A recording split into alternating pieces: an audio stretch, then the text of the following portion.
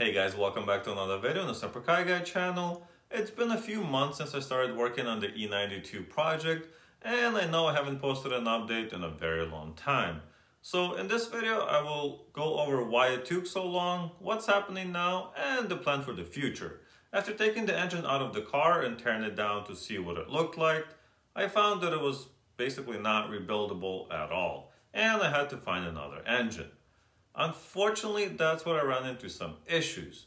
At the time of buying the car, knowing that it will most likely need an engine, a BMW N55 engine could have been had for mm, three $3,000 or so, with less than 100,000 miles, of course not including turbo and some other accessories, which I would gladly pay.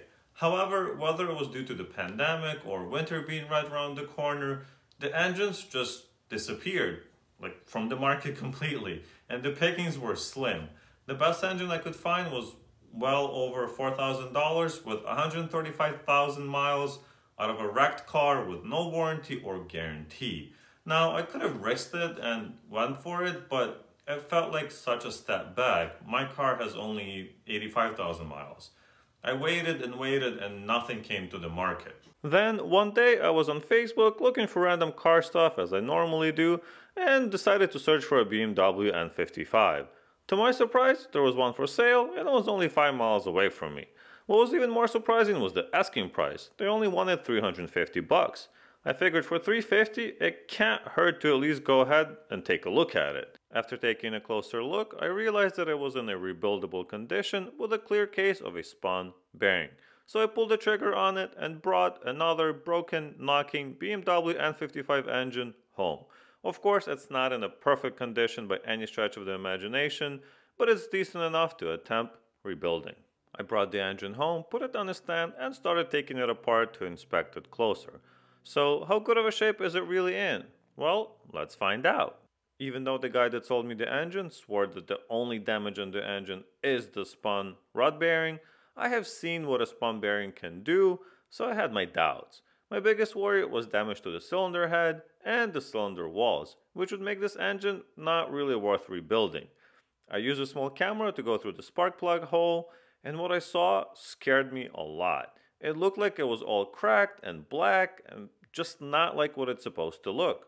So I looked through the camera into this cylinder and it definitely looked like there was something missing. So I was really worried. And I was pretty much like, this engine's not rebuildable. But look at that, it looks fine. I mean, at least these uh, middle four cylinders, there's no scoring, there's nothing, it looks perfect. So I'm gonna rotate the engine carefully since I have, you know, everything kind of hanging in the air. Uh, so this moves down just a little bit. So I want to make sure this one is in good condition. And if it is, hey, this is ready to be rebuilt. Uh, I mean, of course, I'm going to have to get a new crank. It's a lot, a lot of work. But hey, if I can rebuild it, it'd be such a cool experience and such a cool learning experience. I also, of course, looked at the cylinder head. So let me put this back a little bit.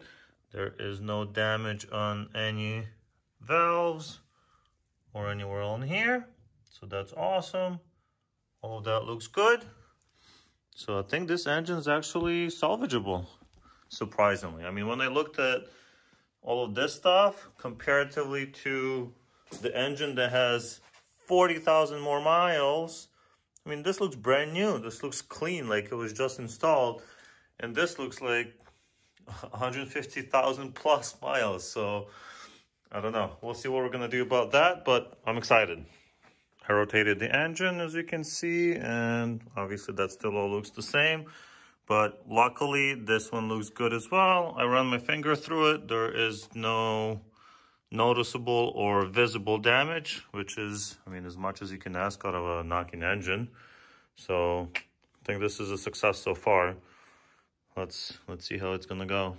I didn't include the teardown footage on this engine up until this point it is pretty much exactly the same as I did on the original engine. So check out those videos for details on how I got to this state of the engine. While I do some research and wait for the parts to start arriving, I'm continuing to take apart the bottom end. To remove the bed plate, I had to first remove the main crankshaft bolt. This turned out to be a lot harder than I thought once the engine's on the stand. Holy crap, it's been like 40 minutes trying to remove this bolt, but oh, look at that. I have no idea how good this feels. I ended up using a wrench to hold it in place and a very long pipe to break it loose. Now that the main bolt was out, I was able to remove the crank hub, which then allowed me to remove the sprockets and the chains. A few screws and bolts later, the oil pump was ready to be removed as well.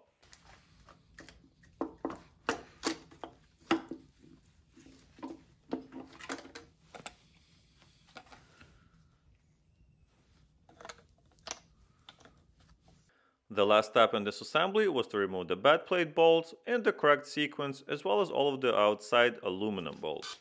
It's mandatory to replace all aluminum bolts when reassembling the engine, so lots of ordering ahead of me.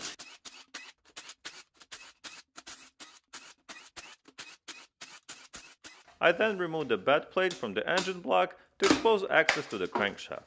This is why I did so much work disassembling this engine. It's to replace this big old chunk of metal. I won't be releasing those rod bolts until I'm ready to put the new ones in as I'm afraid of accidentally pushing the piston out and it falling on the floor. At this point, it's pretty much done with the disassembly of the engine and it's rebuild time.